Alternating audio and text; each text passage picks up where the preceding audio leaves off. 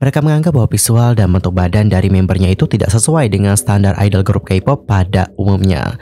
Hey yo, what's up guys? I'm Misul Kim. Welcome back to my YouTube channel. Nah guys, bagaimana kabarnya hari ini? Apakah kalian dalam kondisi yang baik saja? Aku harapkan seperti itu ya. Dan untuk hari ini kita akan membahas topik-topik terhangat seputar dunia perkepopaan yang pastinya sangat banget untuk dilewatkan. Nah, supaya kalian gak ketinggalan informasi apa pun alias kudet nih, langsung aja subscribe channel aku sekarang juga ya. Dan jangan lupa juga nih buat like, comment, dan share kepada teman-teman teman-teman yang lain. Dan berikut adalah berita selengkapnya. Well teman-teman, di berita pertama kita akan membahas tentang zodiak yang kemarin tampil di Solo. Ada beberapa hal yang menarik perhatian dari netizen. Lantas apakah hal-hal itu? Yuk mari kita kepoin bareng-bareng. Pemerintah Kota Solo sukses menggelar pentas budaya bertaraf internasional di Pura Mangkunegaran pada hari Minggu tanggal 17 September malam. Acara ini sudah dimeriahkan oleh banyak artis mulai dari Anggun C. Sasmi, Fabio Asher, Waljina hingga boyband K-pop Zodiac yang salah satu personelnya berasal dari Indonesia. Ia adalah Zayan. Adapun untuk pemerintah kota Solo bekerjasama dengan Shopee untuk konser pertunjukan bertajuk Persembahan dari Solo. Konsernya itu dibuka dengan tarian Gatot Kaca. Kemudian Zayan pakai baju beskap tanpa belakon membuka penampilan dengan lagu Indonesia Pusaka. Dan dia berkolaborasi atau duet bersama dengan Woro Mustiko. Walau terlihat sedikit gugup, Zayan berhasil membawa lagu tersebut dengan lancar. Hal itu juga yang membuat netizen bangga terhadap Zayan dengan pencapaian yang telah dilakukannya hingga saat ini. Kemudian tiga personel zodiak yakni Zayan, Hyunsik, dan Leo menghibur warga Solo dengan lagu mereka yang bertajuk Special Love. Kendati hanya membawakan satu lagu, Sodia berhasil menyita perhatian para tamu. Terlihat beberapa tamu dan artis datang dalam acara tersebut di antaranya adalah co-founder si Group, Yegang, Putra Prabowo, Didi Prabowo, kemudian selebgram Dara Arapah, Keanu, serta artis Nikita Mirzani. Sementara untuk Anggun, dalam konser itu ia duet bersama dengan Mesro Kroncong Waljina dengan lagu yang bertajuk Kota Solo. Dan untuk konsernya itu ditutup dengan Anggun dengan lagu yang bertajuk Terbang Tinggi. Honestly, lagu Terbang Tinggi adalah lagu favorit aku banget dan aku suka banget sama lagu ini. Sementara itu, Wali Kota Solo Gibran Raka Buming Raka mengungkapkan, tak menutup kemungkinan akan mendatangkan grup K-pop lainnya ke kota Solo setelah sukses menampilkan tiga member Zodiac untuk tampil di acara itu. Hari ini event yang luar biasa, ditindaklanjuti lagi. Ini kan baru awalan saja. Kata dari Gibran. Gibran juga tak menepis kemungkinan akan mendatangkan grup K-pop Zodiac dengan komposisi lengkap ke kota Bengawan. Lebih lanjut, ia mengungkapkan bisa-bisa untuk sembilan orang kesenti.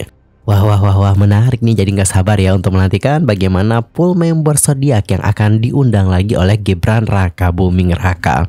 Gibran pun menilai bahwa penampilan zodiak sangat bagus meskipun tampil tidak dengan formasi yang lengkap. Sang wali kota Solo itu juga menuturkan bahwa dirinya sempat berbincang dengan Zayan meskipun hanya sebentar.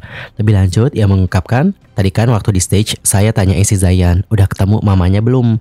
Karena mama sama adiknya saya undang ke sini untuk nonton dan katanya senang sekali akhirnya ketemu dengan mamanya karena sudah lama tidak pulang ke Indonesia. Dan lebaran kemarin kan juga tidak bisa pulang. Besok pagi juga langsung balik ke Korea. Wow, amazing banget sih. Jujur selalu banget sama Pak Gibran gitu ya kan. Karena beliau juga sangat perhatian banget sampai ngundang ibunda dan adiknya Zayan untuk nonton bagaimana pertunjukan anaknya. Di sisi lain, netizen juga dibuat heboh nih dengan drama love sign saat sesi foto. Ini kocak banget sih. Nah, untuk hebohan ini terjadi karena sebuah video yang memperlihatkan Leo Sodia, Gibran, dan istri dari Gibran yaitu selfie yang dinilai lucu oleh netizen saat berpose untuk mengambil sebuah foto. Dalam video terlihat bahwa selfie berdiri antara Leo dan juga sang suami. Setelah berfoto dengan pose yang normal, selanjutnya Gibran mengusulkan pose berbentuk hati pada yang lain. Dilihat dari pose Zayan dan juga Hyunsik, rencana awalnya pasti mereka akan membuat love sign yang sempat viral antara Zayan dan juga Gibran, yaitu bentuk setengah hati dan acungan jempol.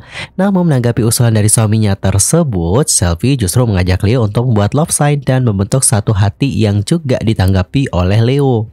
Keadaan sudah mulai terlihat lucu nih di saat Gibran yang menunjukkan pose jempol andalannya di tengah-tengah lopsai Leo dan juga selfie justru malah disingkirkan nih oleh sang istri. lucu banget sih yang ini. Netizen kemudian menyoroti ekspresi Gibran yang terlihat menahan tawa dan seolah-olah menghibur dirinya agar tetap I'm fine, Gwencana yo. Netizen kemudian bercanda dengan mengatakan bahwa Gibran telah mengundang saingannya sendiri. Adapun untuk anggota zodiak lain yang hadir saat itu yakni Zayan dan juga Hyunsik juga sempat menertawakan situasi itu. Zodiac sendiri adalah boy group yang beranggotakan 9 orang member. Mereka debut di bawah agensi One Cool Jackso dan mereka memulai debutnya dengan mini album pertama yang bertajuk Throw a Dice dan judul lagu dengan nama yang sama. Tanggal debut mereka adalah 25 April 2023. Sebelum debut, mereka itu merilis video musik pra-debut yang bertajuk Calling. Mereka juga sempat loh merilis web drama video musik tiga bagian. Yang lagu terakhirnya itu dijadikan video musik berjudul Special Love. Adapun untuk member dari grup ini antara lain adalah Hyun Sik, Zayan, Lex, Bomsu, Kyumin, Wain, Sing, Dapin, dan juga Leo. Namun sayang nih untuk Dapin dan Sing tidak ambil bagian dalam pra-release Lemonade. Seperti lagu pra-debut Calling, Lemonade sekali lagi menunjukkan pergerakan bak grup global melalui lirik lengkap yang berbahasa Inggris. Lagu pra-release Lemonade menggabungkan irama yang kuat namun kitschy dengan top line yang eksotis, memamerkan karakteristik pop namun terdiri dari ritme piano yang merasakan gairah bak Amerika Selatan. Nine App yang aktif terlibat sebagai produser grup untuk idol Korea seperti Monsta X dan juga Jacob Atwool yang berpartisipasi dalam Zero CXC dan Vitamin NCTU bekerja sama untuk meningkatkan kualitas lagu Lemonade. Untuk album single pertama Zodiac yang bertajuk Only Pan nanti akan resmi dirilis pada tanggal 11 Oktober 2023. Dan kita akan masuk ke berita kedua, kita akan membahas tentang girl group rookie yang namanya adalah Elvin. Yang mana untuk Elvin ini dibully karena bentuk tubuh nih. Dari kanal-kanal itu mereka pun langsung memprivate akun Instagram mereka. Wah parah juga sih ya teman-teman. Elvin adalah girl group terbaru dari Cross Selatan, yang mana mereka itu sudah siap nih untuk membuat gebrakan baru di kancah K-pop. Untuk group ini terdiri dari anggota berbakat, ada tiga orang member teman-teman. Mereka adalah Soa, Sika, dan Ari. Grup ini telah menghasilkan gebrakan dengan kemampuan vokal mereka yang luar biasa dan penampilan panggung mereka yang juga menawan. Menambah intrik, anggota yang belum terungkap akan menyelesaikan kuartet tersebut, membuat para penggemar bersemangat nih untuk menemukan bagian terakhir dari teka-teki itu. Dengan album single debut mereka yang bertajuk Club On yang dirilis pada tanggal 18 Juli, ekspektasi melonjak nih dengan seiring para penggemar musik yang menantikan perkenalan tak terlupakan terhadap perjalanan Elvin yang mempesona dan menjanjikan di dunia musik. Saat wawancara, mereka juga ditanya nih tentang konsep atau tema keseluruhan dari album single debut Love On. Nah, di sini salah satu membernya yaitu Ari menjawab, bisa jadi seseorang yang menginginkan perhatian dan cinta orang lain, tapi menginginkan orang itu tanpa berusaha menjelaskannya. Lagi pula, cinta itu memang sulit kan? Kemudian Tok Soa menjelaskan bahwa Love On merupakan lagu yang mengekspresikan harga diri dan menjalani hidup bahagia dengan mencintai diri sendiri daripada mencari perhatian dan cinta orang lain. Namun itu juga mengungkapkan perasaan cinta bertepuk sebelah tangan dan ingin diperhatikan oleh orang yang disukai. Dan teman-teman baru-baru ini mereka itu menjadi perbincangan hangat di kalangan netizen Korea. Apa alasannya? Ternyata ada netizen Korea yang mengakui bahwa mereka itu tidak senang dengan member Elvin. Mereka menganggap bahwa visual dan bentuk badan dari membernya itu tidak sesuai dengan standar idol grup K-pop pada umumnya. Dan usai menerima beragam komentar negatif, grup Rookie ini langsung mengunci semua akun sosial medianya termasuk Instagram Instagram. Mengenai visual dan bentuk badan mereka, belum lama ini muncul sebuah postingan di komunitas PAN yang menuai beragam kritik.